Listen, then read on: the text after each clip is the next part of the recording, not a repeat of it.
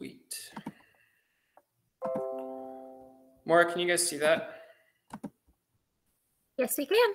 Awesome. All right. So, welcome to the OPSU College Student Success webinar. We are going to be going over uh, what a college start is going to look like for you guys, kind of the, the pieces that you're going to need to concern yourselves with over the next uh, two weeks or so as we kind of transition you into college, and then what you can expect as you get started into college and continue out through your academic journey. So uh, that's going to be kind of what we cover. We got a lot of information to go over. Um, so if you guys, uh, I think I kind of have told most of you this, but just place yourselves on mute. And um, so that's so there's no background information going on. And then as we go through, if you have questions, feel free to chat us or um, we'll, we'll pause for questions. And we want to make sure that we get you guys all the information that you need to get started. But uh, before we do that, we always like to take a pause right here and say congratulations to everybody on this phone call. Um, you have completed an incredible step in your life and in your academic journey by coming back into school, uh, coming into an online format that you may not have been familiar with, and coming back and graduating high school. Um, and we want to congratulate everybody on this phone call. You guys are all high school graduates. It's a huge step, and we are really, really proud of you. Graduation Alliance is proud of you as students and as people um, about everything that you've done and had to go through to get to this point. So congratulations. Uh, we're, we're really excited that you guys have come this far and we're excited to take you into the next step, which is what we're going to be kind of focusing on here is now that you've completed the first step, we're going to kind of continue on into the academic journey and, and explore more of the academic spectrum. So uh, without further ado, let's kind of jump into it. We have a lot of stuff to go over. Um, so here's kind of an outline of the, the main topics that we're going to be covering. Uh, first, we're going to kind of cover the financial aid process, which is kind of the start of uh, getting enrolled into college. The next thing we're going to do is talk about academic advising and registering for your classes. We're going to talk about ordering textbooks as well. And then we're going to kind of go over some scheduling and other details. With that being said, um, there are three major themes that we're going to cover in this presentation that are going to carry on into college and that you're going to find as you go through college. The first major theme is taking responsibility for your education. So we're leveling up. You guys, we're taking the next step here. And um, in college, you are very, very, very much more responsible for the different pieces of your education than maybe you were in high school. Uh, we're going to hit this a lot as we go through, so we're going to kind of elaborate on this more as we go on. But uh, taking responsibility for your education, your finances, and things like that is going to be a major theme of what we're doing here in college. You are going to be expected to step up and take more responsibility for completing uh, some of these different pieces. It's not just going to be done for you. So we'll go over that in just a little bit. Uh, the second major theme that you're going to find is starting early. So for those of you that are procrastinators like me, um, college is going to eat you alive if you try and procrastinate your way through it. And I found this out the hard way. Um, I procrastinated for like my whole first year and it really hurt me. Um, and so, my advice to you is to not procrastinate, get things done early, and make sure that you are planning ahead.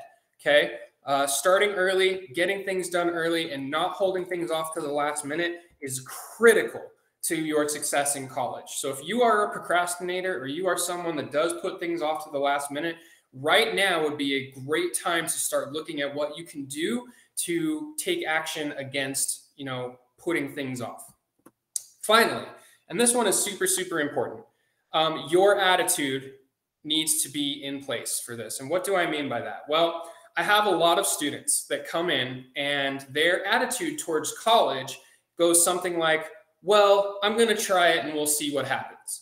If you are saying that to yourself, you are automatically admitting right from the start that if things get tough, you're going to quit. Is basically what that that sentence translates to is, well, we'll see how it goes. That that can't be your attitude if you're going to do this because I'm here to tell you right now, part of my job is to make sure you're successful in college and I'm here to tell you right now, it's going to get hard. It will get tough. Um, and the difference between people that graduate and people that drop out is their attitude and persistence. It's the people that come into this saying, no matter what, I'm going to work through whatever struggles I may encounter to reach the finish line. So if your attitude is, well, we'll see, and meh, maybe I'll see how it goes, you're already admitting that you're going to quit when it gets tough, and that that attitude will not get you through to the end. And if there's one thing that's really important to understand about college, uh, it's that you need to reach the end. Okay. Uh, this is not a like you get partial credit for going halfway through type deal. Um, you either graduate or you don't. Um, if you go in to sit down for an interview for your your new job, your new career, and they say, "Well, did you graduate college?" and you go, "Well, I got halfway through," they're going to say, "Get out of my office," and they're going to take the next candidate that actually graduated. So it is important that you understand going into this that you need to reach the finish line. It's kind of an all or nothing deal. So your attitude needs to reflect that, and you need to think about what you can do to persist through the struggles and challenges that you're going to face. Now, um, I am here to help you with that. That's part of my job as your student success coordinator is to be here to help you through the struggles that you will inevitably face. So you're not alone. Your professors are going to be there. Your advisors are going to be there. So we're going to talk about some more of this. But right now, you need to make sure that your attitude going into this is I'm going to make sure I get this done no matter what. Okay. We're going to talk about some of this. So, first things first uh, financial aid. Uh, this is something that probably most of you have already completed, and if not, you're working with your enrollment counselor to finish. Um, your financial aid is also known as your FAFSA, and this is how pretty much most all of you are paying for school. Um, I don't know anybody that's paying out of pocket, so this is your money for school, guys. It's very, very important that you understand your financial aid. Here's some things to, to know about your FAFSA. Number one, your financial aid needs to be completed once per year. So this is not like a fill this thing out one time and then you're good to go for the next four years. This has an expiration date every year. So you need to fill this out once per year, which sucks. FAFSA is not fun at all and it's kind of a pain in the butt. But um, it's how you're paying for school. So it's very, very important that you make sure you complete this once a year. Now, We'll remind you when the deadline is. The financial aid office at OPSU will remind you when the financial aid deadline is. Um, but just keep in mind that this is something that you have to complete. It only lasts for one year. So if you want to go to school the next year, you got to fill out FAFSA again so that you have money. Okay. Uh, this is how most of you are paying for school. It is highly, highly important. So this is what I was talking about taking responsibility. Um, you need to understand how your FAFSA works. You need to understand how much money is being given to you and how much is being separated into grants and loans and when you're going to have to pay these loans back if you're taking them and what the interest rate is going to be and things of that nature.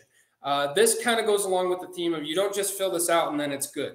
You need to understand how much money that you are getting for school each year. The reason for this is because you are all getting a different financial aid package, and it's going to be different for all of you. So, what that means is that uh, you need to understand how that is going to be applied to your, your schooling and your classes as you go through. Um, sometimes you will run out of money before the end of the year. I've seen it happen. And so it's important that you make a call to the financial aid office once every two or three months or so and call up the financial aid office and say, how much money do I have left? Um, how many credits do I need to be taking to qualify for that money?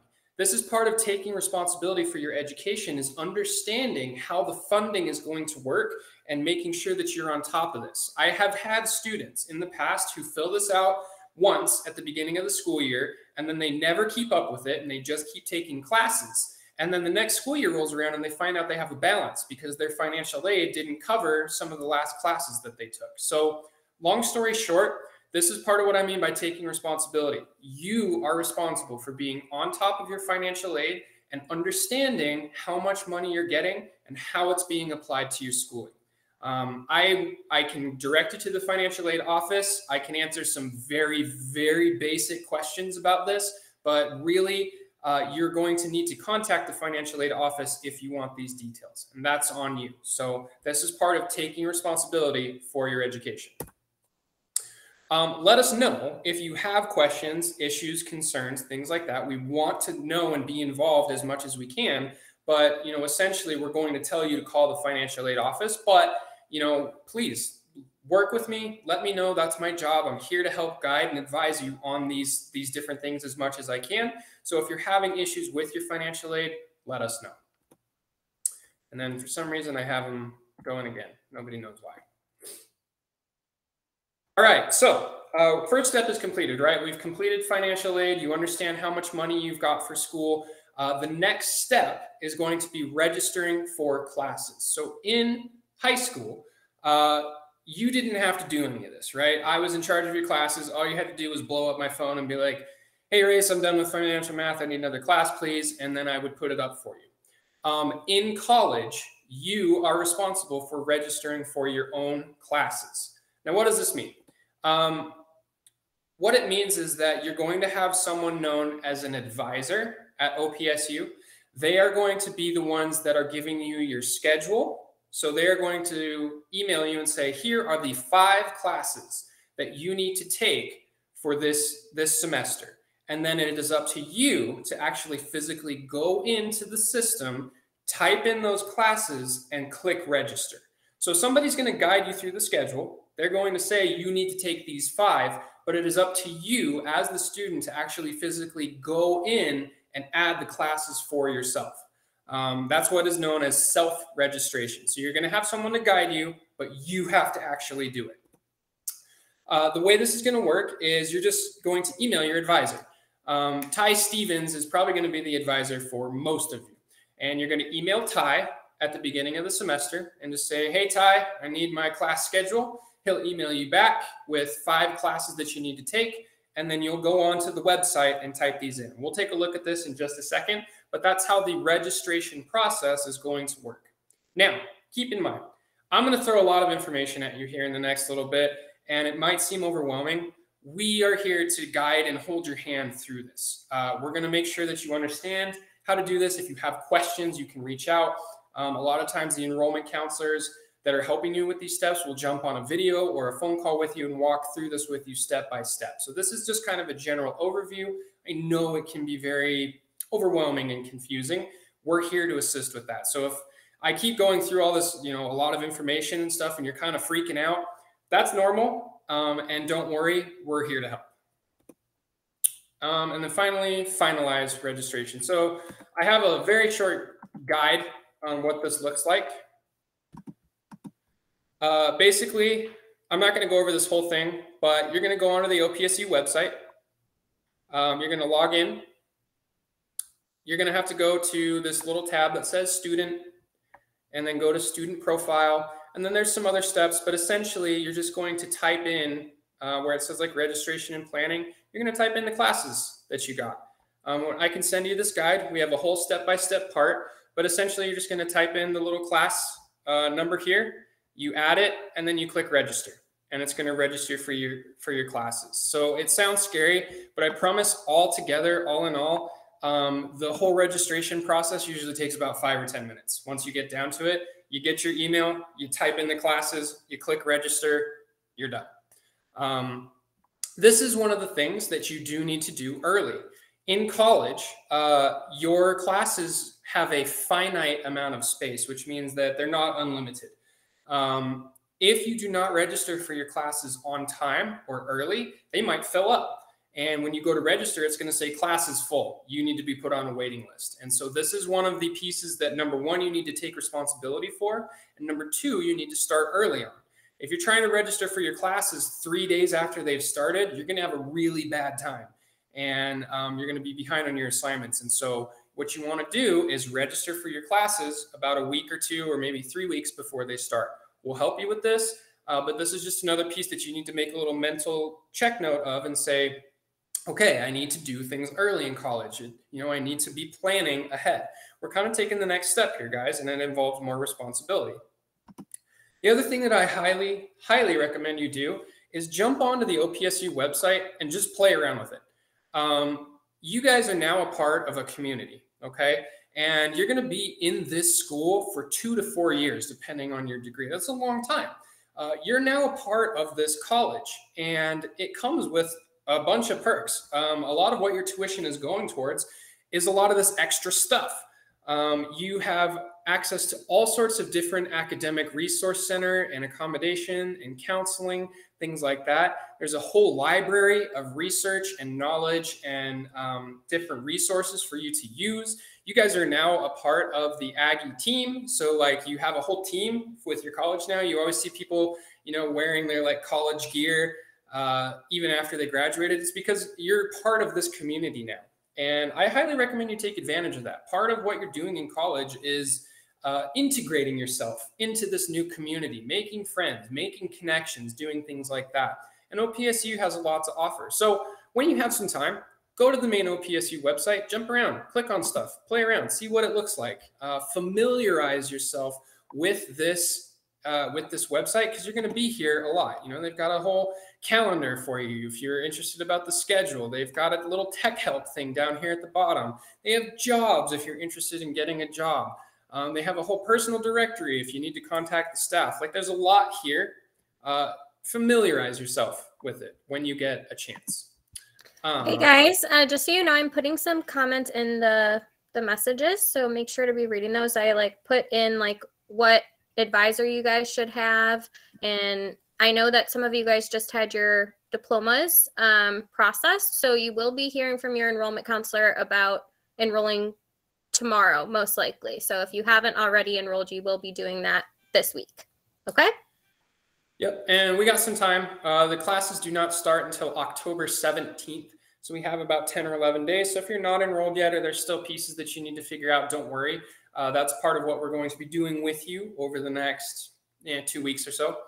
Um, so we're kind of going down our checklist. You've got your financial aid done, right? Your funding is in place. You've registered for classes and you have your class schedule. You're all set up and ready to go. The next thing that you're going to be doing is ordering textbooks. And this is another uh, this is another piece of the responsibility puzzle. it's a horrible puzzle. Um, the responsibility puzzle. So you're going to order your textbooks, okay? Um, in high school, you did not have to do this, right? I just signed you up for classes. You took them. Everything you needed was right there online, ready to go. In college, this is going to be a little bit different. Um, for each class that you take, you need to order a textbook for it. Um, this can happen several different ways. First of all, to pay for these textbooks, uh, you have what is called a voucher code. What this is, is this is going to be a little code that I can give you so that when you order your textbooks, when you go to check out, what it's going to do is actually charge the textbooks to your financial aid instead of asking you for like a credit card or taking it out of your personal checking account or whatever it is. Uh, OPSU is one of the only colleges I know of that actually does this, but they allow you to charge your textbooks to financial aid so that you don't have to pay for them out of pocket, which is really, really cool. So we're going to get you this voucher code. Um, you guys don't need to memorize this right now because I'm throwing a lot of information at you, but just so that I put it out there, you have $500 in each voucher code each semester to charge your textbooks to, which almost always covers the entire thing. Um, when I say that they charge this to your financial aid, what that means is that they are uh, it's still coming out of your like grants and your loans and things like that. So it's not free, but you don't have to pay it with your credit card. Um, if you're confused about that, we'll go over that in a little bit more detail with you personally. Um, I don't want to spend too much time on that, but long story short, you can charge your textbooks to your financial aid. Um, you have two options for your textbooks. Number one are ebooks. And these are essentially, I mean, it's pretty self explanatory. They're electronic textbooks. Um, if you own an Amazon Kindle or you read textbooks like on your tablet or something, it's basically the exact same thing. Um, these are just going to be textbooks that you can access through your computer. Uh, ebooks are emailed. So if you choose to get an e textbook, it's going to go directly to whatever email you put in when you check out. So you're checking out your textbooks, you click, I want the e-textbook. Um, you put in your email. Five minutes after you click the pay button or whatever it is, it's going to show up in your email. Um, the number one question that a lot of students have is which is better? Should I get an e-textbook or should I get a physical textbook, which is one of these guys?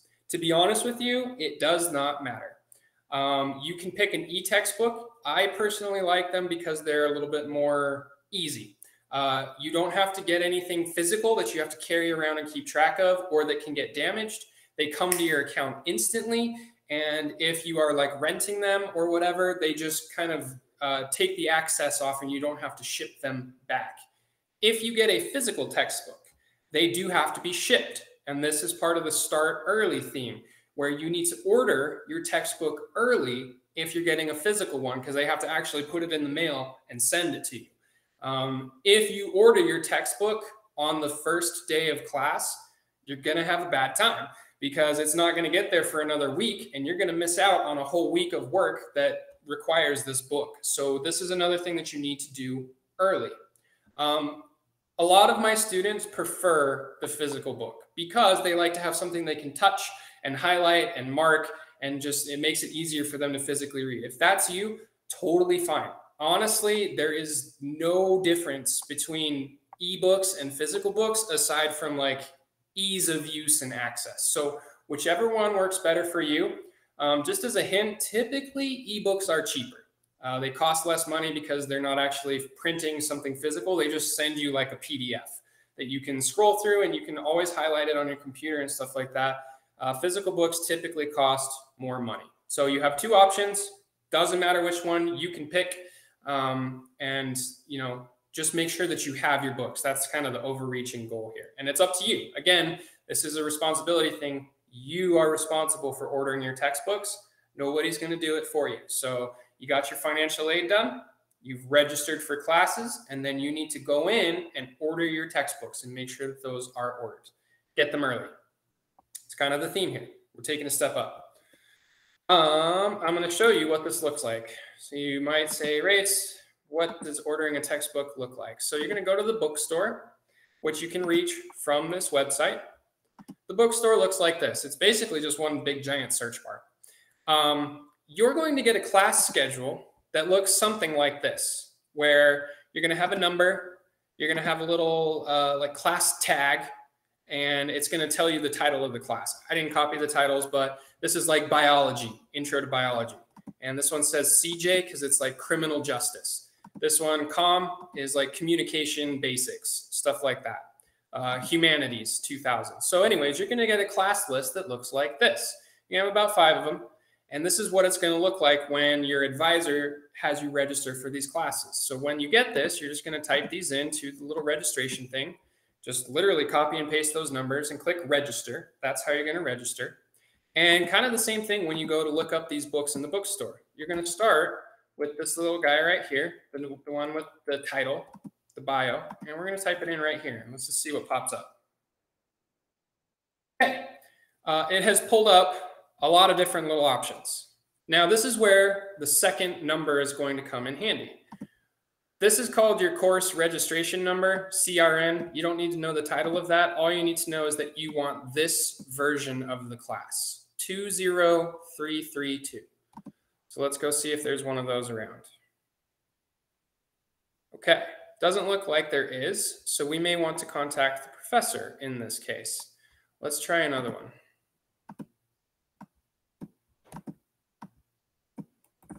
copy this in.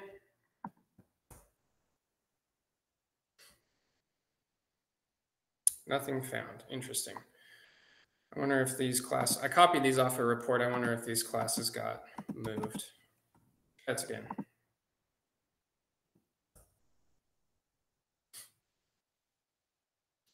This time. Okay. So we're going to click on the, the registration number that matches, and it's going to pull up a book for us for our class. of course, this one. Uh, this event is going to tell you what the book is. Um, here's what you need. You may look at this price. This is why we have the voucher code.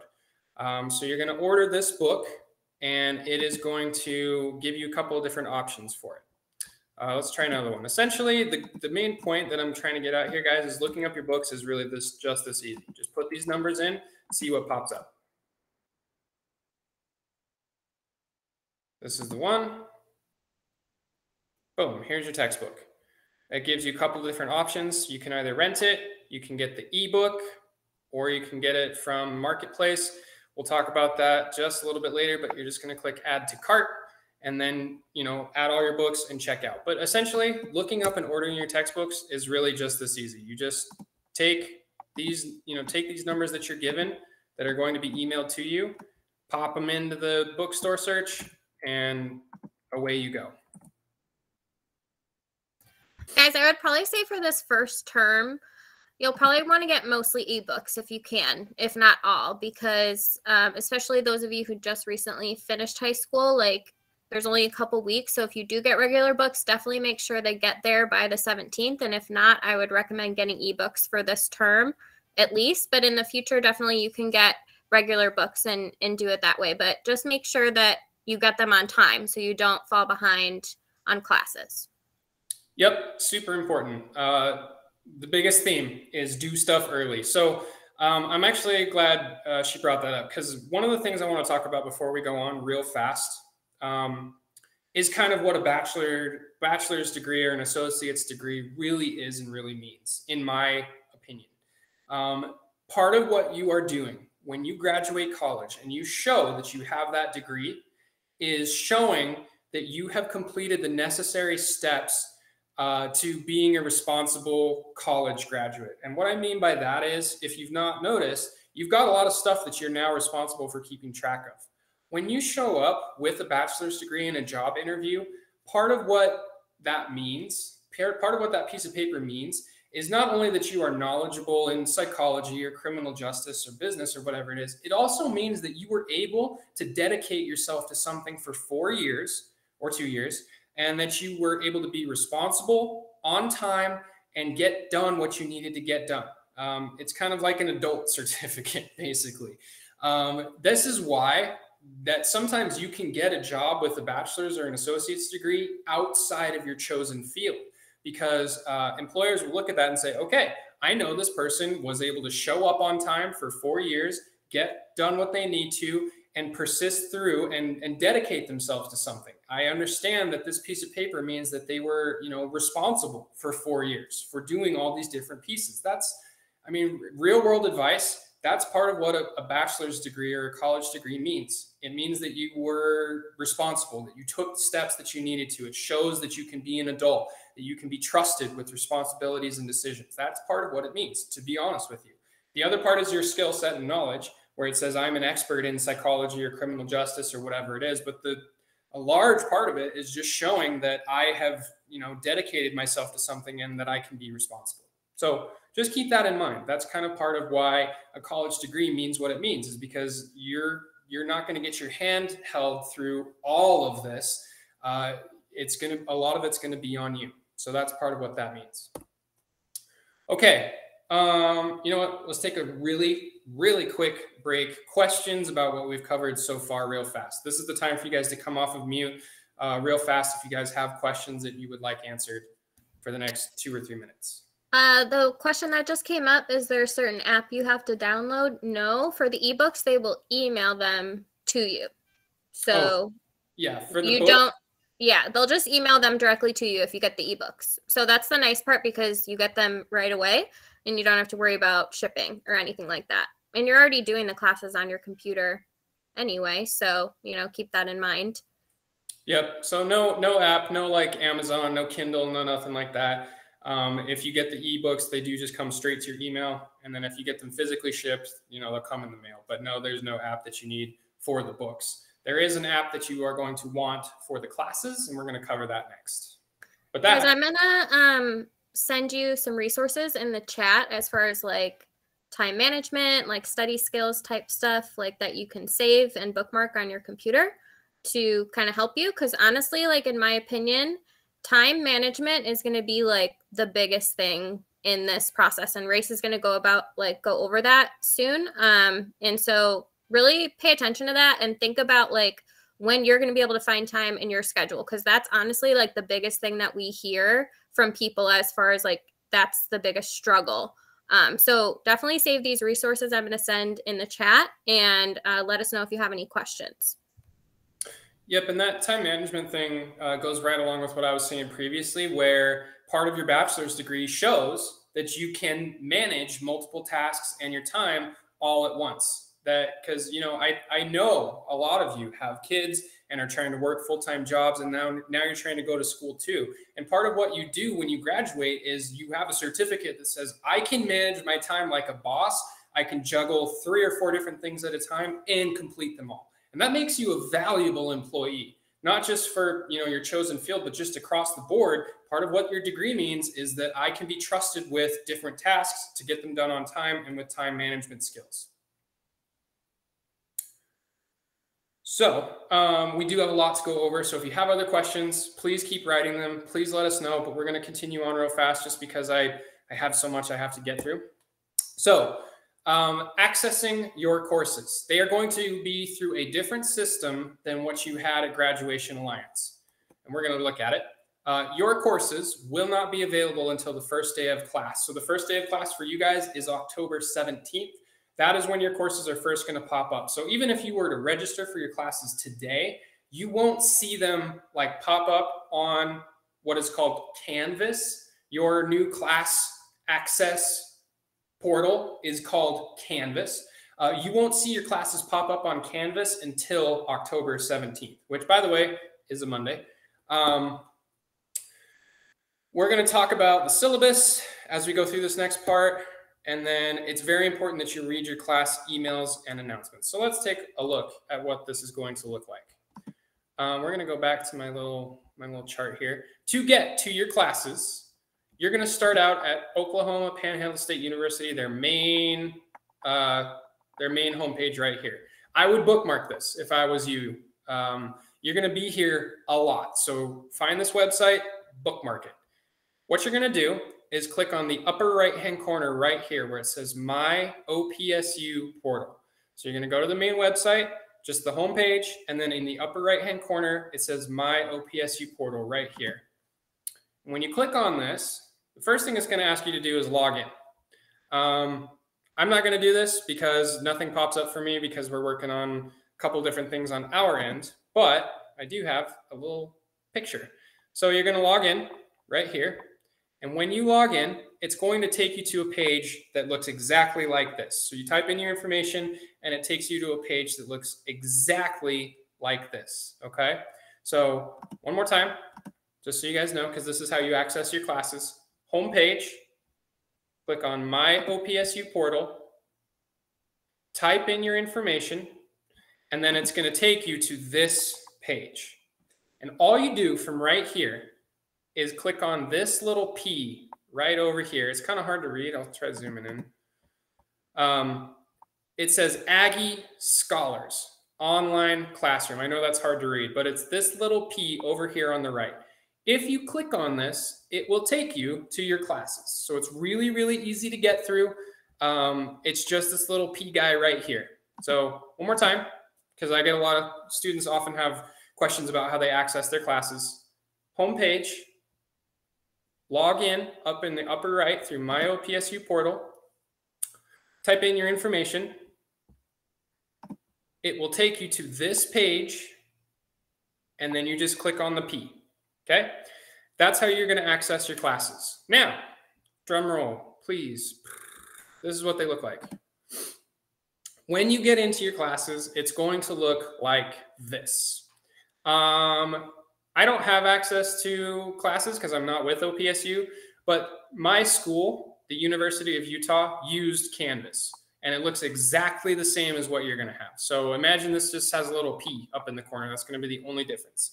This is what Canvas looks like. Okay. Um, when you have classes, it's going to, I mean, if you guys notice, it's going to look really similar to what you were doing in Graduation Alliance. You have your dashboard, you have your little course tab, you have, uh, you know, like a calendar and some inbox and other things like that that are all very, very similar. When you have classes, it's going to have a big picture of the class right here. I don't have any because I'm not enrolled in any classes currently, but they're going to pop up right here. You can just click on them. It'll take you to your class. Or you can go to courses.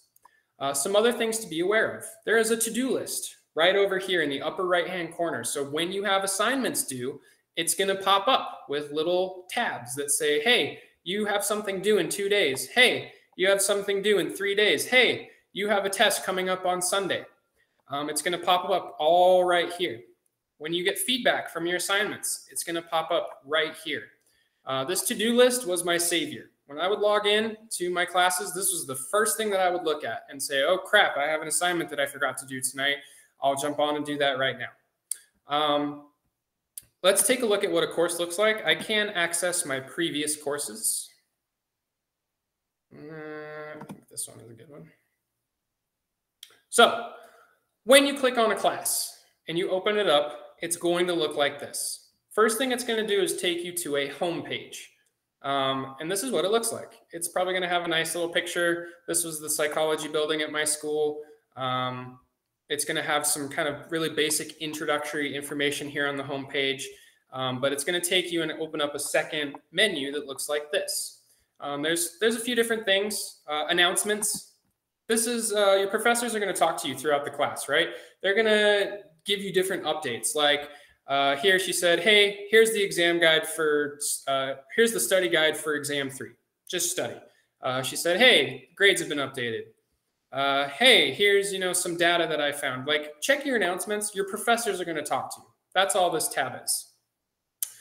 The first thing I would do when you get into a class is click on this button right here that says syllabus. Uh, for those of you that do not know, a syllabus is essentially like a cheat code guide for how to do a class. Uh, in high school, all of your classes were very, very similar. They all pretty much function the exact same way right? Uh, they went for three weeks.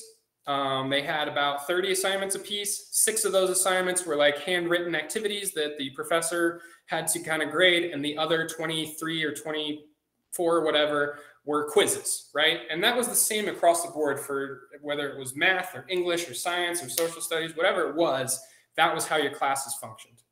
In college, this is going to be different. Every class that you take is going to be structured differently. And uh, this might sound like a pain in the butt right off the bat, but it's because in college, your classes are designed around the subject that you're taking. So, for instance, if you're in a math class, you probably won't be writing any essays at all. What they're going to do is give you 50 quizzes and probably three tests to take because they don't care about writing in a math class, right? They just they just don't care. Inversely, when you take an English class, they probably won't give you a bunch of little quizzes with like 10 questions apiece. What they're going to do is have you write, you know, six or seven essays over the course of the entire class because they're more concerned with your writing and reading and, and literary composition and things like that. So your classes are all going to function differently depending on the subject. So this is where the syllabus comes in. You should read this when you start your classes. The first thing you should do on Monday when your classes load up is go in and read this syllabus because it's going to tell you all about what you're doing in the class. So let's look at this. Course introduction. Um, here's how many credits this class is worth. Here's the title of this class. Here is the professor teaching this class and these impressive degrees that she has. Here is her office on campus. This one doesn't really apply to you guys because you're online. Here's her email. If you ever need your email for your professors, it's going to be in the syllabus. Um, the course description they're going to tell you what you're doing in this class. So if you are like, why am I taking something called cognitive psychology? What is that? There are two main goals of this course to help you learn more about your own thought processes and how they work or don't work, in my case, and to provide you with an understanding of the issues, methods, and theories in the field of cognitive psychology. Okay, so I know now that this class is going to teach me about how I think, which is, this was a cool guy. This was a cool class. Um, the course objectives. You know, describe here's what we want you to be able to do after you are done with this course. Describe key concepts, develop a working knowledge. I'm not going to go through all this because it's it's a lot, but this is kind of a breakdown of what the class is happening. Uh, required materials. Here is the textbook that you need for this. Make sure you have that. Uh, you are responsible for the material provided in the recorded lectures. So she's telling you that she's going to record some information and you need to be aware of what that's what's happening. Do you need to contact the professor? Here's how you do it. Um, you can see, guys, that the syllabus is just a breakdown of how the class is going to work. Here's what I want from you. Here's what you're going to be doing. Here's some information about all of it. Here's how grading works. This is important too. Uh, you have in this class, this is what, what something I that would leap out to me. You have three exams that are worth 75% of your grade in this class. Think about that for a second. This means that if you miss one of these exams, you're in a really bad spot for this class. So this would jump out to me and say, okay, I need to know when these exams are. I need to study for these, and these are really important. What I'm really trying to say here, guys, is if, if I can just be honest with you for a second, missing these exams or putting them off to the last minute or saying, oh, I forgot about that isn't going to fly in this class. So, you know, this is what I'm saying where you take responsibility and do things early. This would be a class that this would jump out to me and say, okay, exams are pretty much all of this. I can't miss the exam. I'm not going to be able to turn it in late. Like, this is important. Okay, so I don't want to spend too much time on this because we have a lot of stuff to go over still, uh, but you can see that this syllabus is kind of a breakdown of how things are going to work in each class. Um, you have an assignment tab over here that will tell you all of the assignments that you got going on in order. Uh, so, you know, it'll kind of start and you can go through, it'll tell you when they're due, and this will pop up on your to-do list. Um, it's got a couple of different things. You can look at grades too, is another way to do this. If you ever are wondering what your grade is in a class, they have a button for it right here. And they'll tell you, you know, here's your score, here's out of zero. These are practice quizzes, so they didn't actually count. But like um, my first activity, I got one out of one, nailed it. Uh, you go through and you can see your grades here. My first exam, this is a good example. My first exam, I got 38 out of 50 which was not super great considering it was worth 75% of my score. So I knew that I needed to get my, my grade up with my exams. You can keep track of that here. And if you scroll all the way to the bottom, it'll show you your overall grade. So it'll break it down for you. I nailed my thought paper because I'm good at writing. That's kind of my strong suit. Um, exams, not so much. So I needed to improve there. My total grade for this class ended up being an 84% which was actually kind of low because I was trying to get a high GPA. So you can check this out right here. Um, it'll break it all down for you. It's also right up here. You know, there's lots of different places you can check your grades. This is another part of the take responsibility aspect. Keep up with your grades. I would check my grades like every single day uh, because you don't want to like turn in five assignments and figure out that you did them all wrong and then just keep doing assignments wrong. So you're responsible for checking your grades. Um, that is the basic overview of Canvas. There's some more buttons that you can click on down here that are not as applicable, but you'll go through some of those. The other thing I wanted to show you is that you do have a handy calendar function. So if you are more of a visual learner, your assignments are all going to pop up right here. You can see it. So let's see, what is today? The 6th, uh, Thursday. So let's say we start class next week. You can not only put in your own events, but the, the assignments are going to appear here. So let's see, let's just pretend your first class has an assignment. It'll pop up right there. Okay. Um, maybe if you want to add something for yourself that's like study for exam today, you can put this in on your personal calendar. This is just your calendar, and it'll pop up on your to do list. Check this out. Boom. This is what your to do list is going to look like. So if you have an actual assignment due in your class, as soon as you log in, the first thing it's going to do is pop up right over here. Okay, cool. I have an assignment due this upcoming Monday, October 10th at 12.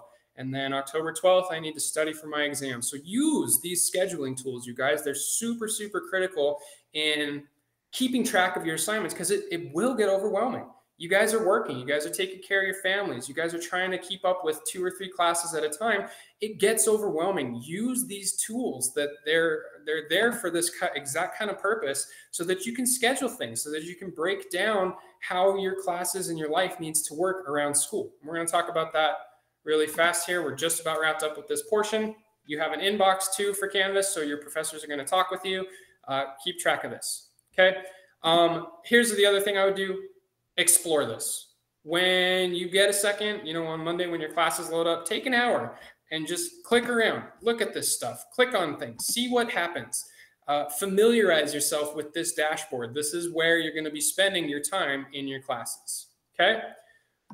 Guys, the only thing I want to add um, is sometimes the calendar has like final due dates of like bigger assignments and they don't have like smaller discussion things listed. So make sure you also use the modules like Race mentioned, because that will sometimes show the smaller assignments and then you can add those to your calendar so you can keep up with everything. So use a combination of the modules and the calendar to make sure that you're completing everything. Um, yeah, and your syllabus, you guys, will break there. Almost every single course I've ever taken will walk you through what they want you to do. In the very first assignment, they're going to say, here's how this class works. Um, you know, let's walk through this. Let's do this together. So like there's there's different pieces um, that they will show you to walk through this. So take some time, get familiar with it, and please, please, please read the syllabus. I know it's boring. I, I will tell you that till the day you die. This syllabus is boring and it's hard to get through, but it is so important for you to read and understand how this works. Uh, and it'll it'll do you so much good. So um, that's that's kind of Canvas. We do have to move on because I have a bunch more stuff to get through. Um, so deep breath. Uh, now we know kind of what the classes look like. We know the steps that we're going to take. We're going to you know, get our financial aid in order. We're going to register for classes. We're going to order our textbooks, and then we're going to start. Um, so these are kind of the steps we're following. Now, this is really, really important. So take a deep breath, refocus. We've got about, you know, 15 minutes left or so, maybe 20 if I push it. Um, so we're almost done. So kind of refocus in. Uh, dropping classes. Um, before you drop a class, there's some things you need to think about. Number one, is it past the refund deadline? You have one week. So your classes start on October 17th. On October 21st, that Friday, the refund deadline ends. And if you choose to drop a class in like week three or four, you are going to be charged for it. And what that means is that you're not going to get credit for the class, but your financial aid is still going to pay OPSU $1,000 for that class. So, like, if you choose to drop a class in week two or week three, you are essentially burning a thousand dollars that you don't get anything back for. You're gonna have to start the class back over. You don't get credit for it, and it shows up as a W on your transcript. So, think about this. You know, if you're thinking about dropping a class, is it past the refund deadline? I'm gonna skip prerequisite. Uh, think about though why you really want to drop the class. Um, and this goes back to what I was saying earlier. Are you stressed? Are you overwhelmed? Are you behind? These are things that you need to work through. Everybody who goes to college in your position is stressed and overwhelmed. Everybody has kids and a family that they're trying to take care of and work a full time job. That's just part of the deal. The difference between people that graduate in the same position and people that drop out are the ones who will work through these problems. And I'm just I'm I'm being honest with you not to scare you and not to like yell at you, but because I see it time and time again, and I want to prepare you for this, you guys, you're gonna have some struggles. You're gonna hit points and times where things get tough, where you feel overwhelmed, where something might happen. You might lose your job or your home, or you might get sick, or you might have to go to the hospital. And you have to, have to, have to work through these things. If you quit every time something happens, you won't make it through college. It, that's just not how it works. So I want you to mentally prepare yourselves right now, whatever that looks like for you, whatever steps you need to take to say, okay, I know things are going to get tough. And when things get tough, I want you to think, okay, Race told me this is going to suck and that it was going to get tough. And that's happening right now. Go cry for 15, 20 minutes, whatever makes you feel better. And then come back and say, okay, Race said that I, I need to work through this and that this is normal. So that's what I'm going to do. I want you to think that, those thoughts because it's going to get hard. Um, will it impact your financial aid? If you are continually dropping classes, eventually the government's going to stop giving you money. If you drop a class every single term and semester and you're not completing them consistently, they're going to stop giving you money because you're essentially wasting it. Uh, and so, you know, you need to think about if you're dropping a class, how's it going to affect your money? And then finally, uh, talk to me. This is my job is to help you guys with this. And when it does get tough, I want you to call me and say, Race, I'm stressed and overwhelmed. I'm working too much and I don't know what to do. I can help you work through these things, but only if you talk to me. Okay. So dropping classes, you need to think about the consequences. This is part of the taking responsibility theme is that we're taking a step up. We're kind of entering the big leagues now. Okay. Uh, when you sign up for a class, you need to complete that class. We're going to skip the holds. We're going to skip most of this. Basically, what this means is that you guys need to keep up a good GPA. Um, what this really means is that we're expecting you to get A's and B's for the most part. If you get the occasional C or D, that's okay. Um, but if you are consistently getting a C or a D in every single class, that's going to be a problem. Uh, eventually, OPSU will put you on academic suspension or probation because you're not getting good enough grades. So it's really important that you maintain, you know, really at least a B average is kind of what we're looking. Um, like I said, if you run into a tough math class or a tough English class and you have to take a C or a D just to pass it, but you pass it, totally fine. This is if you're getting C's and D's for every class, every term, every semester, it will come back to bite you. Um, okay. This is the part that I really wanted to get to. So here's the timeline for your classes, okay? In high school, they were running on a three-week schedule, right? I gave you three weeks for each class, and then we, we reset and you got another three weeks. Here in college, it's going to run on an eight-week schedule. So we're starting right here. The way this works is they break each year down into semesters. So you have three semesters. We have fall semester, that's now. We have spring semester, and then we have summer semester. And what they do is they take each of these semesters and they divide them into two terms. And each term goes for eight weeks. So we are right here, right at the tail end of fall one. Um, you might hear it referred to as like fall A or fall, you know, fall B, whatever. We are starting you guys here in fall two, October 17th. So you're going to start your classes on October 17th. They're going to go for eight weeks. And then we're going to start your next classes. And those are going to go for eight weeks. And then we're going to start your next classes. And those are going to go for eight weeks. We're running on an eight week time frame here. And to answer the question that you might have, you are typically going to be in two to three classes every eight weeks. Okay. Now, um, something that I see students do a lot is they see eight weeks and they go, oh, cool, I have eight weeks. Like I have forever because you just came from three. And that is not the attitude to have about this. What you want to look at this and say is, I only have eight weeks. If I miss even one week, I've missed an eighth of the class. And you don't get to turn in late working college. And so this is what I mean when I'm saying be prepared and take responsibility. Make sure you're turning your stuff in on time because if you miss a week or even two, you've missed a fourth of the class easily. And it will really, really hurt you. And these classes cost money. You guys, like if you're missing, if you're missing stuff, this isn't just like a slap on the wrist. You're paying money for this. Uh, it's coming out of loans and grants. It's not coming directly out of your checking account, but this stuff costs a pretty significant amount of money. Um, and it's your future too. If you're constantly dropping classes or missing weeks of school, you won't graduate. And that's really what we're trying to do here. So this is how the timeline is going to work. Um, here's what I wanted to really go, go over. Uh, is it it's a kind of a time management thing to do for this. So let's say that you guys have um, you guys are you know taking care of a family. You have maybe three or four kids, and you're working a full time job let's just say it's a nine to five, right? Monday through Friday, 40 hours a week, full time, trying to take care of a family. Um, it's going to be tough, but I have made up a schedule that, you know, and you can make your own schedule if you want, but it, it, it can be done. That's what I'm really trying to show you with this is that it can be done if you use your scheduling and time wisely. So let's take a look at this. Let's say Monday morning, you wake up maybe at like 7, 7.30, okay?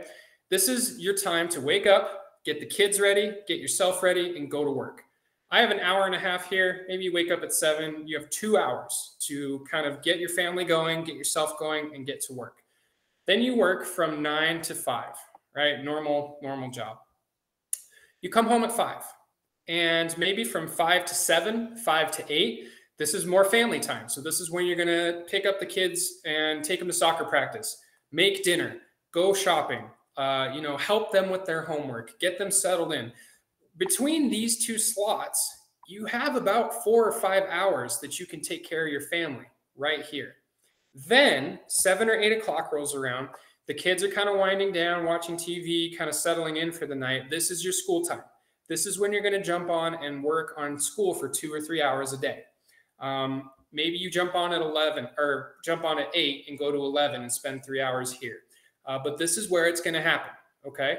Then at 10 or 11, you have maybe an hour of personal time. And you may say, Race, that sucks. Like, I want more than an hour. And unfortunately, you probably may not get that. And that's part of the sacrifice that you're about to make for two to four years is maybe you have very limited time for yourself so that you can have, you know, the next 40 years to have all the time for yourself. This is an investment, you guys, and you're going to be stressed and you're going to be busy. And that's just kind of part of it. And if you want to live, you know, the, the career and life that you want for the next 40 or 50 years for the rest of your lives, then you need to sacrifice now to make that happen. But it can be done. So not only today, like, did you not only take care of your family and work a full-time job, but you got three hours of school in you took an hour for yourself and then maybe if you go to bed from like 12 to 7 you're still getting seven hours of sleep which isn't eight i know but like that's pretty good seven hours plus everything else plus an hour of personal time now i know a lot of you may be looking at this and say that looks that looks cool and it does um, i promise you if you spend three hours a day on school you will find that you naturally have a day off like maybe you have assignments due on Wednesday, right? You spend Monday and Tuesday, three hours each day. You get all of your assignments done. Guess what? You're all cut up for Wednesday. You don't have to do school that day. You're done. Maybe your next assignments are due on Sunday. So then you work Thursday, Friday, and Saturday on school. And then Sunday, you're all caught up. Guess what? You get to take that off. If you plan this out, you guys, you can find time to do it all. It's going to be busy, it's going to be hectic, and it's going to be stressful. But if you can find ways to navigate it, plan it, and make it a priority, you can do both. Um, last thing here with this, I made a night shift one uh, that we'll go through really, really quickly. This is like if you work from like 3 to 11, like kind of the, the second shift or whatever it is. You wake up at 8, maybe from 8 to 10, you are taking care of the family, the kids, laundry, whatever, you know, two, two and a half hour gap uh, from maybe like 10.30, 11.30 to 2.30 you have a two or three hour gap for school before you go to work and then you go to work from you know 3 to 11 monday through friday that's a 40 hour work week right and now you've had time for family you've had time for school you've had time for work and then you come home maybe at like 11 11.30 spend an hour of time to yourself and then go to bed at 12 12.30 seven eight hours of sleep wake up do it again it can be done is i guess what i'm really trying to say with this um, so we are almost finished. I got just a couple more things for you, and then I will let you go. Uh, this slide is kind of what we've been talking about this whole time, self-advocacy or taking responsibility for your schooling. Guys, nobody can want this more than you. Uh, we want it a lot for you, but we can't log on and do things for you. We can't know if you have questions or need help with anything unless you let us know um, or you know if you're not answering the phone and don't call us back i can't i just can't help you i, I just can't there's no way for me to do it um, and so we want you to practice responsibility and what is called self advocacy which means speaking up for yourself if you have a question ask it if you need help seek out help um, you have to take charge of your education here this is the biggest thing about this transition is you have to be responsible for making this happen and communication is key. If you need something from your professor, reach out to them. If you have a question about your classes, reach out. It's important, which is pretty much what this paragraph says. Okay, um, last thing is just kind of a breakdown of who all these different people are, because I know it gets confusing. So you have your professors, right? These are the guys that are actually in charge of the classes. These are your like direct teachers. You will then have an academic advisor who is the person at the school who is like giving you your class schedule and helping you get through um, you know your your program essentially these are the guys that are sending you the classes that you need to register then you have your student success coordinator this is me um, i handle pretty much everything else so if you have a question you need some help you don't know where to go you're like stuck you're behind you are lost your toe broke call 911 that's what i'm going to tell you to do but like um, that's kind of what I do, right? I'm like your main point of contact. And then you have your enrollment counselor, who is the person who is helping you get all of this done to start out with. These guys will disappear about two or three weeks into it, and um, you're going to be just dealing with me. But for the moment, during this transition, this is kind of your primary person is your enrollment counselor. These are the guys that are going to help you get enrolled into college, register for classes, get your books, stuff like that. Um, That's me, or Anne Marie, or Andy, or Jen, or uh, Anna, or Diane. All those people that you've been working with. or Jackie. Jackie, yes, who's also on the call. um, this is Ty Stevens. I just wanted to let you guys know that these are real people that you're dealing with on the other end. Uh, he's going to be the advisor for a lot of you guys. He's like the dean of online college. He's also the psychology and criminal justice advisor. Um, he's a great guy. Uh, you're going to be dealing with Ty Stevens a lot. Most of you will. Uh, so I just want to let you know who he, who he was. Um, finally, to kind of wrap things up here, you guys are all going through this together. Um, you're going to be in a lot of classes together. So don't be afraid to reach out to your classmates as well. Uh, you know, find time to connect with them. That's an important part of all of this. And then finally, you guys, uh, we've reached the end. And the last thing I want to leave you with is that you can do this. Okay. I know I've been throwing a lot of information at you. I know this is really scary. I know there's a lot of things that you maybe don't understand or that are not quite clear to you yet. Um, it's going to be tough. And I know I've said that a lot, and I know I keep saying it, but it's only because I want you to be prepared for it. I don't want to like stand here and tell you that it's going to be all sunshine and flowers and roses because it's not. College is hard, and um, that's why it means so much, you guys. And I want you to really think about this. It's going to be hard, and the reason why college is so impactful and the reason why it gets you such high-paying jobs is because it's hard. It's because not everybody does this. And so you're taking steps that most of the population doesn't take. And what you have to do is know that you're going to struggle a little bit and be prepared, whatever that means to you, to be prepared to take on these challenges and work through them and grow as a person. You can do it. I promise you, you can do it. If I can graduate college, you can graduate college. Um, I don't even want to tell you what I was doing while I was going through college. Um, you can make it. You need to believe in yourselves. We believe in you. That's why we're sending you to college. You have already taken huge steps to come in and you know wherever you were at in your lives to initiate going back to high school and learning that you guys remember how tough it was to come back and start those first few classes and navigate the portal and make time for school you guys have already done this you're just going to do it again you've already shown that you can be successful in an online environment that's why you're here um, and so that's kind of my conclusion to this is i know we went over a lot of stuff i know i'm telling you it's going to be hard but you can do it and we honestly believe that education is the most powerful weapon which you can use to change the world. Some of you have already seen this. If you graduated high school and you already went off and got a way better job than you had before, this is evidence of that. Your kids are going to watch you go to school. And then they're going to say, Well, I want to go to school. My mom went to school or my dad went to school. Whatever it is, you're going to change the world around you by doing college, and you can do it. So that's it. I am done yelling at you, and I just I have to congratulate myself because usually I go about ten or fifteen minutes over, and we nailed this right on time. Um, but that's it, you guys. That's what we wanted to kind of go over. Those are kind of the steps that we're looking at. Um, that's what you're going to be doing in college. What questions do we have about about that? Thoughts? Questions? Comments? Guys, if you haven't already, I would scroll through the chat and um, save those links that I sent. I sent a lot of really good things for you guys to save and kind of explained them. So I would, um, I don't know if you guys know how to bookmark things, but there's like a little star up at the top that you can click on and you save the website. It makes it a lot easier for you to find it in the future.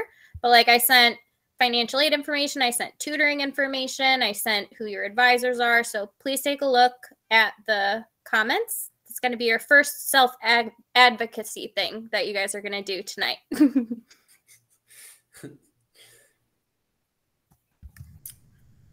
um, if you guys do not feel comfortable, yeah, you do. You do got this. If you guys don't feel comfortable asking questions in front of the group, that's okay. Um, but this is something that I would think about as well. If you have questions, most likely everybody else has the same question.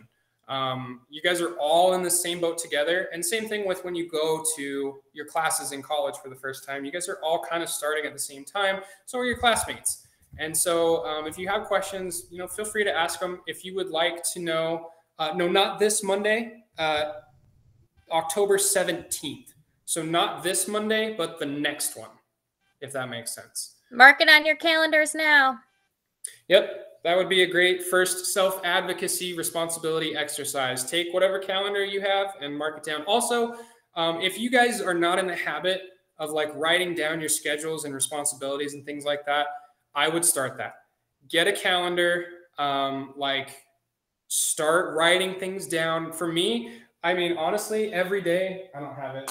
Uh, every day, I would take a notebook and like physically write down my responsibilities and like things that I need to do and like what what schedules I had, and that really helped me because it was a lot. There was a lot going on. So every day I'd write down like May 26th, you know, like assignment due, do laundry, pay car insurance, like write whatever essay, and that really really helped me because it's going to get overwhelming sometimes. For uh, sure. and also, it feels really good to cross things off your list, guys. Like, if you make a list and you do something, like, you can be like, yes, and cross it off, and it feels amazing. So, that's another thing that is pretty great about lists. that sounds kind of cheesy, but no lie, the dopamine rush from like, like, crossing things off and then looking at a completed list at the end of the day is uh is an ace. um what was the last question? So I guess I can't finish the degree in 19 days. No, you can't finish the degree in 19 days. Um, that's uh, that's part of it. Uh, this is a long haul, and this is a test of your commitment and your endurance. So no, mm-hmm. you can't do it in 19 days because it would mean a lot less if you could, right? This is a real fast before we kind of close things out. This is the difference between um, motivation and determination. Motivation is easy, right? Like I've just been giving you a motivational speech for like the last hour and you guys are all ready and raring to go. Determination and consistency is the hard part. You have to keep going 6 months from now when you're, you know, you're tired and you're stressed. You got to keep going. That's the difference. That's, you know, what really how it uh yes, you can dream. Feel free. um but that's the difference, right? Uh, it's easy to be motivated. It's hard to be determined and consistent. That's what we're asking, and that's what college is asking of you. Um, what if we finish early? So uh, that is an option depending on how many classes you can take and how many your financial aid will cover. You guys are all getting different amounts of money, so that was something that I would be very aware of. Is if you want to take extra classes to try and finish early, you need to make sure you have the money and the funding for them. That's going to be that call to financial aid that we were talking about in the beginning. And uh, also, guys, the time. Like, we're going to be signing you up for full time courses. Like, what we send you and recommend to you is going to be full time so that you can get financial aid. We don't really recommend taking more classes because you're going to then have to be able to spend a lot of time every single day. Like Race was saying already, you're going to be doing about two, three hours a day to to do these classes. So you want to keep that in mind if you put extra stuff on your plate, like if you can handle it, great, but it's it's difficult. So just kind of keep that in mind. Like you are going to be a full-time student with what we're providing you. Yeah, so here's what I'd recommend because I've had students ask this uh, before. I would recommend starting out with just kind of the standard full time. Um, see how you do for the first term or two if you are just acing all of your classes and you find that you have a bunch of extra free time, then I would look into extra classes at that point. But this is brand new. Um, start out and see kind of how things are going. So you're going to be in, um, yeah, we can we can talk. You're going to be in uh, two or three classes at a time uh, normally. Um, yep. So it's going to kind of vary and depend, but you're going to be in about two or three classes at a time. Uh, if you do that, and you know you go for two or three semesters and you're like this is easy i got all sorts of time in the world that would be the time to look at kind of taking on some extra responsibilities but these classes cost money they're going onto your gpa so you want to make sure that you ace you want to make sure that you ace them and get a steady foothold first before you take on extra stuff i know you guys want to get it done early i totally do not blame you for that at all um, but i'll be honest with you unless you like really really really really blaze through like most of this, it will take you probably three and a half, four years. That's just how it goes. So, but yeah, that goes back to like what Race was talking about, guys. Like this degree and this uh, piece of paper that helps you get all these like great jobs is really a test of like your hard work and perseverance, more even than like necessarily your knowledge and like capability. Like we work with so many smart students, but a lot of it is about persevering like he said through difficult things, staying on task with your assignments, time management. Like I almost think that those are like more important almost like students who work hard and stay on top of this stuff are the ones that are successful. Oh, 100%. Like I have students who are brilliant, who are so good at academics, but they don't stay on top of things. When the going gets tough, I've had students quit who were getting all A's. I have students who are really struggling to get B's and C's that are still in school.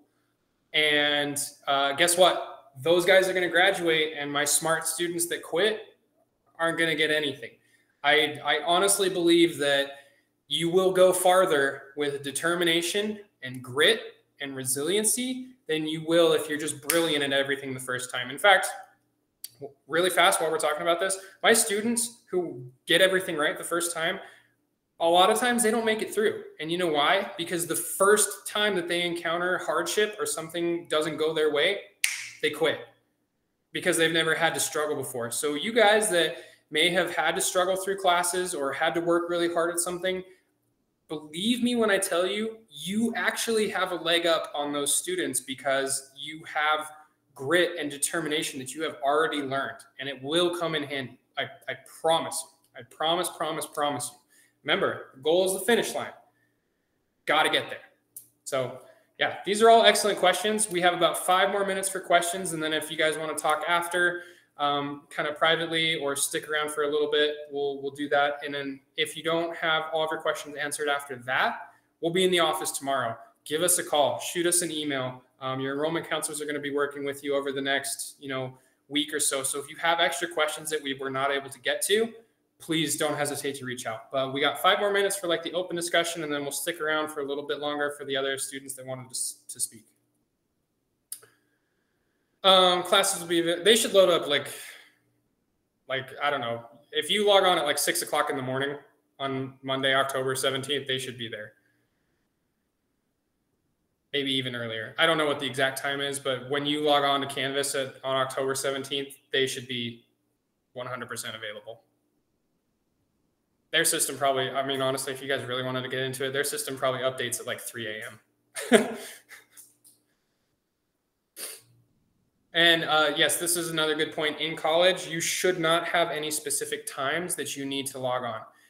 It should be the same as high school, where you had the option to do it at any point during the day. If you run into a class where you have to log on at a specific time, let us know, but it should be the same.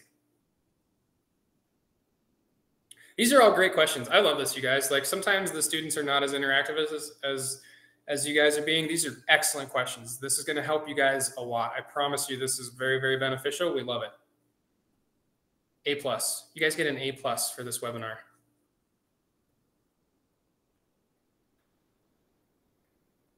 Um, okay, so two questions came up.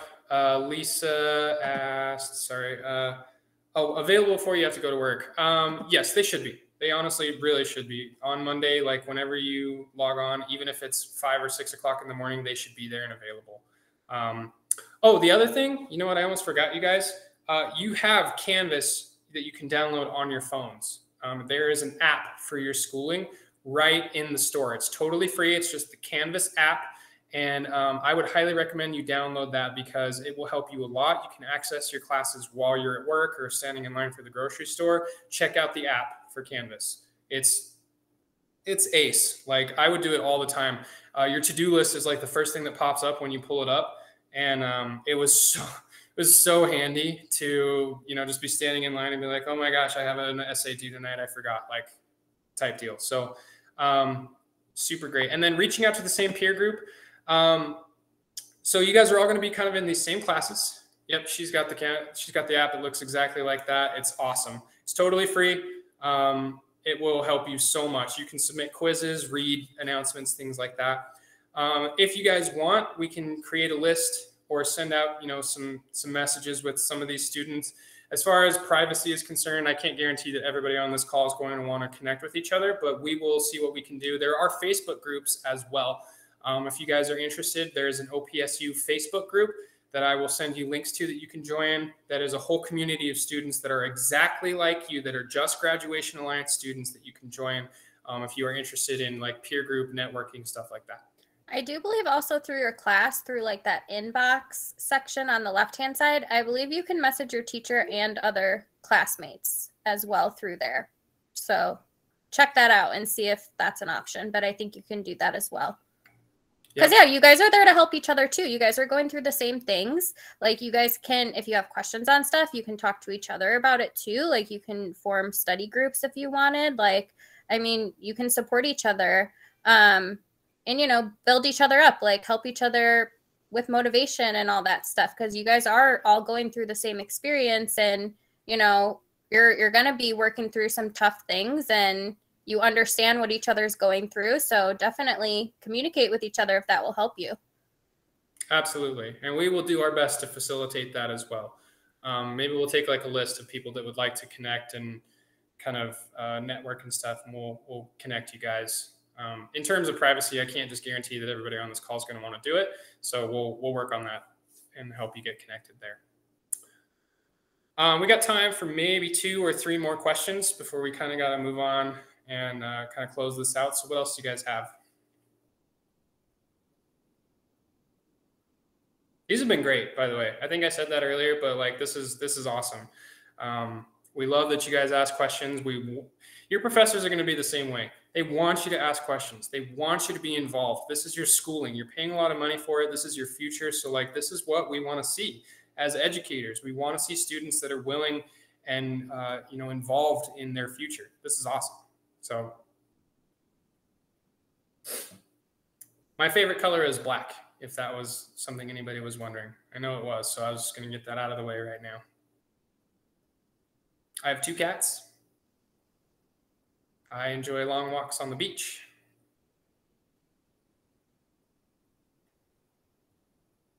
Tough crowd. You guys are a tough crowd.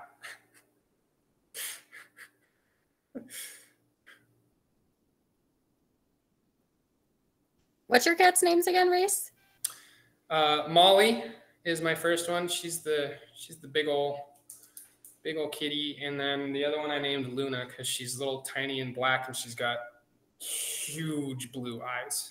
How is the new one? Uh, I put her. I have to put her in my bedroom because she likes to be involved in everything. So when I have to do like these hour long presentations, she's great. I love. I love her. She's amazing. Yeah, my cats are always climbing all over my desk and like all that type of stuff during uh, meetings. If I make food, I have to put her away because she's like she needs to get her face in everything. I have this horrible like green like nutritional powder that I drink before I go to the gym. And it smells like I just like literally took a scoop of hay out of the barn. It smells awful. And so I let her smell it one time because I was like, you know, she'll hate this, obviously. And she just sticks her whole face in and just starts like trying to eat it. And I was like, you got to be kidding me. Like, she's good. Luna's great. Um, if you guys don't have anything else, we'll close this out. I don't want to take up too much of your your Thursday night. Um, you guys are free to go. For anybody that wanted to stick around, we got about five minutes that we can discuss uh, things with you privately if you wanted to. The rest of you, thank you so much for joining. Um, if you have extra questions, please let us know. We're here to help. We're going to get you guys started and, and kind of guide you through this process over the next week or two. Uh, we're here to we're here to help, and you guys can do this. We'll we'll connect you with each other and make sure that this is a good experience for you. So thank you so much for coming. Um, I appreciate you spending the hour with me. Let us know if you need anything, and we will talk with you guys soon. Thanks for coming, guys. Good luck, everyone. Thanks Hope for the presentation, helped. Race. Yeah, thanks, Race. Mm. Bye, guys.